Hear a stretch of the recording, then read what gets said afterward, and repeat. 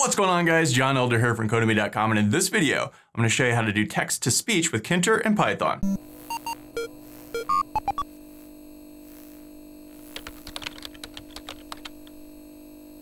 Alright guys, like I said, in this video we're going to look at text-to-speech, but before we get started, if you like this video and want to see more like it, be sure to smash the like button below, subscribe to the channel, give me a thumbs up for the YouTube algorithm, and check out Codemy.com where I have dozens of courses with hundreds of videos that teach you to code. Use coupon code YouTube1 to get $30 off membership. That's all my courses, videos, and books for one-time fee at just $49, which is insanely cheap. Okay, so text-to-speech, what am I talking about? Well, let's say we could type something into a box here, click the button. Hello world. And then boom, you can hear it on the speaker, kind of metallic-y, robot sounding, but uh, that's what we're gonna do. So I've got a new file, I called it speak.py. It's just our basic Tkinter code using Sublime Text Editor and a Git Bash terminal as always, and uh, just basic starter code that we always have.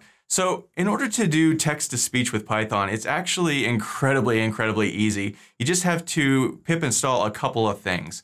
So let's head over to our terminal, and the, and the first thing we need to install is pip install, and then it's py TTSX3. So Python, PY, text to speech, TTS, and then X3. I don't know if it's the third version of it or I don't know, but that's what it is. So let's pip install this. Now I've already got it, so it's already installed, but you'll go through and it installs really quickly. Now that might work for you, but you might also need to install something else. So let's go pip install and just go ahead and install it anyway, even if you may not need it.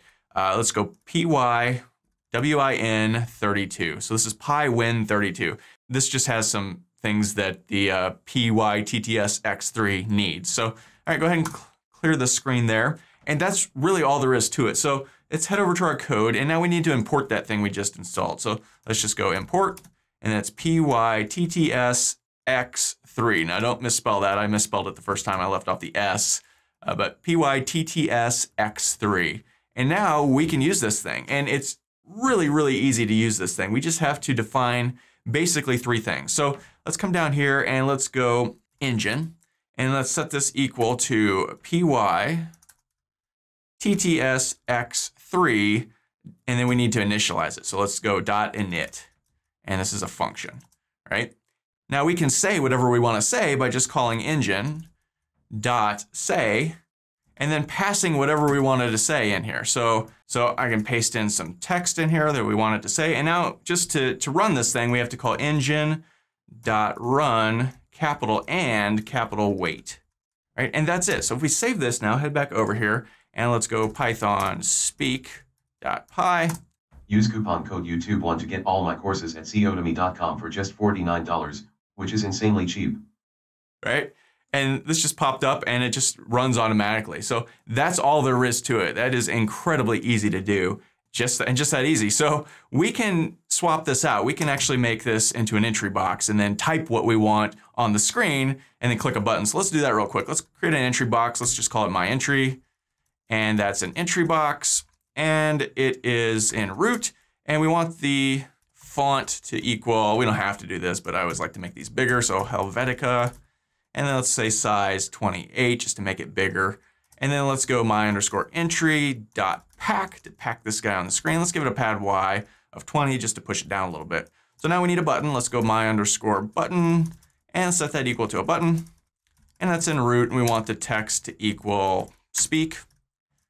And let's give this a command and we call this anything we want, but let's just call this, uh, I don't know, talk something. So now we need to put that button on the screen. So my button dot pack, and let's pad y that of 20 to push it down a little bit. So now all we have to do is define that function. So let's define talk. We don't have to pass it anything. And now let's just copy all of this stuff into that function. Make sure you're tabbed over here. And then instead of passing in directly some text, we can just pass in my underscore entry dot get. And remember, this is a function, so put your little function brackets on there.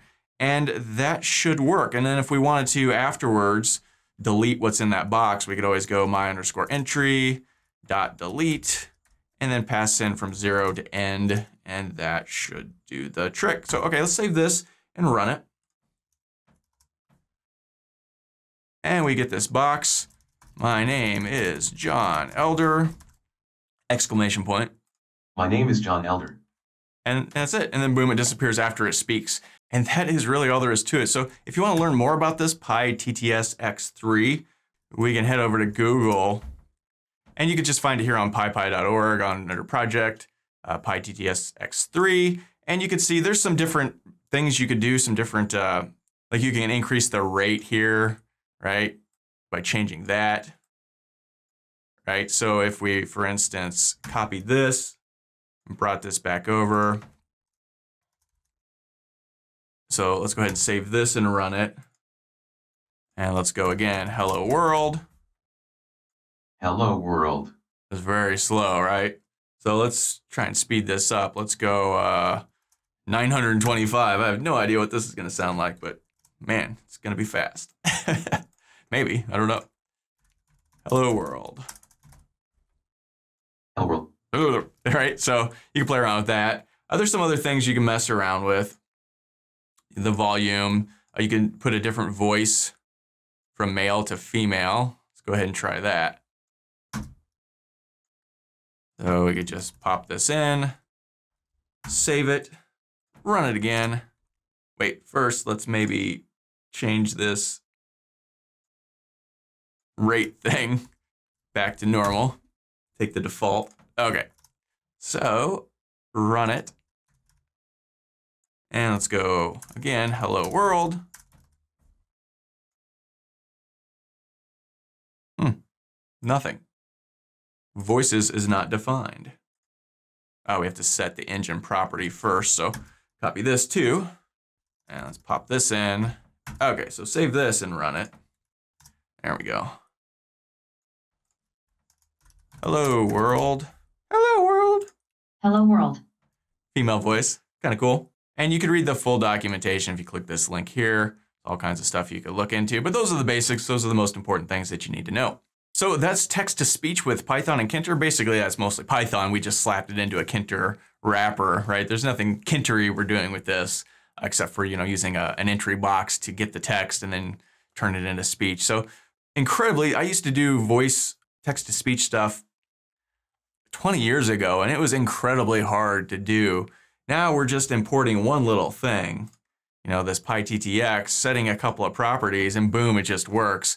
That's incredibly cool. So uh, that's all for this video. If you liked it, be sure to smash the like button below, subscribe to the channel, give me a thumbs up for the YouTube algorithm, and check out Codemy.com where you can use coupon code YouTube1 to get $30 off membership. It pays just $49 to access all my courses, hundreds of videos, over 40 courses, and the PDFs of all my best-selling coding books. Join over 100,000 students learning to code just like you. My name is John Elder from Codemy.com, and we'll see you in the next video.